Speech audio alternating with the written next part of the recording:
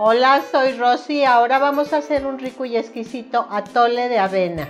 Y los ingredientes son medio litro de agua, 4 cucharadas soperas de avena, una raja de canela, un cuarto de taza de azúcar, media taza de leche, mucho amor y nada más. Lo primero que vamos a hacer, vamos a poner la mitad de agua en una ollita, 250 mililitros.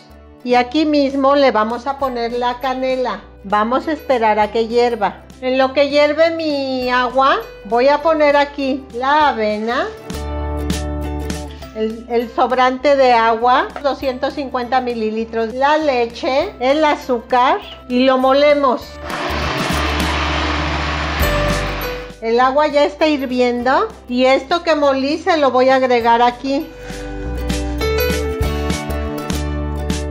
Le ponemos un poquito de agua en la licuadora. Esto es solo para este, quitar los residuos que quedaron aquí en la licuadora. Pero nada más es un chorrito, vean qué poquita es. Y se la ponemos aquí. Vean que yo hice poquita porque aquí en casa somos pocos. Y la avena recién hecha es como sabe deliciosa. Le movemos.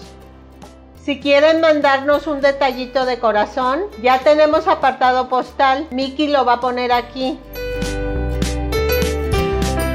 Gracias y besos. Mi atole ya está hirviendo y este es el espesor que quiero. Esta receta me la pidió Seali Altamirano e el arroz Barragán. Así hago yo el atole de avena, mis niñas hermosas. Les mando muchos besos. Estuvo dos minutos hirviendo. Le apagamos y está listo para tomarse.